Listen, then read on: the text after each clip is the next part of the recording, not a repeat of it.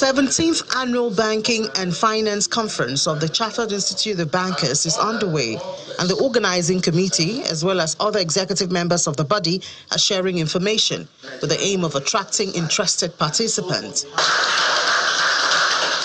With the theme Accelerated Economic Growth and Development, the State of Play and the Way Forward, a special interaction of the youth has also been infused into the lineup of events. We know that we've been uh, plagued by the issue of Japa syndrome. So we'd like to move from Japa to Japan. and that dinner will be a center stage for that interaction.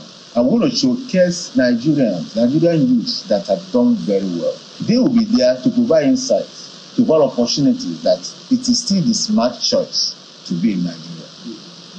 And Nigeria is still, anywhere you are, this is the country that has the, that's blessed the most in the whole world. CIBN is promising that while conversations at the conference will be engaging and interesting, they intend to go beyond the talks. Under this present dispensation, rather than just keeping a distance, because we just submit to them and we go back. We don't want to submit this conference. I can bet with you after that, we will go to the ministry that affected those decisions, those communicate, and which are the outcome of the discussion.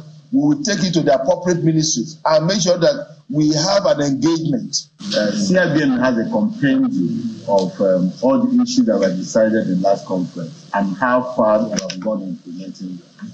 We have that because when I was appointed um, the chairman of the committee committee, I asked for that. I wanted to know what was the outcome of the previous uh, conference. And the registrar advised me with that talk. And I was really impressed that they really have in each of those items what has been achieved. The 17th Annual Banking and Finance Conference is scheduled for September 10 and 11, 2024.